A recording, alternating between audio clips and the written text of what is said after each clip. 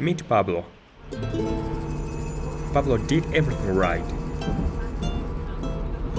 After his mission, he came back home to Mexico City, but couldn't find any jobs.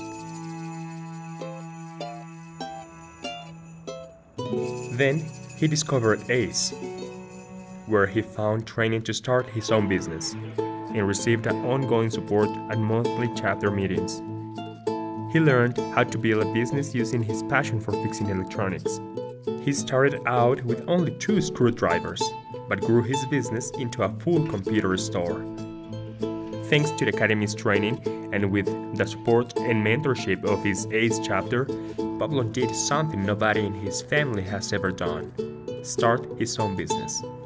There are millions of hardworking people like Pablo around the world who want greater opportunities in places where jobs are scarce.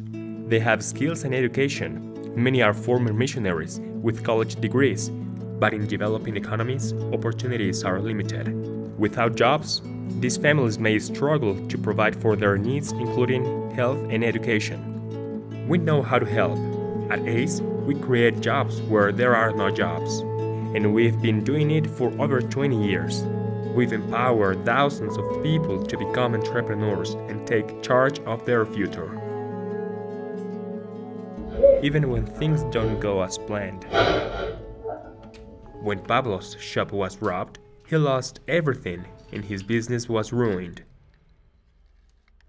But with the support of his ACE chapter members, his faith, his skills, and resourcefulness, Pablo had everything he needed to build a successful new business from the ground up.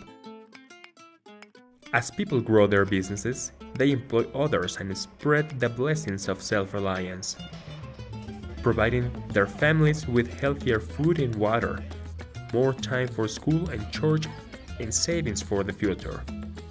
You can spread those blessings too. Learn more today at the Academy for Enterprise.org.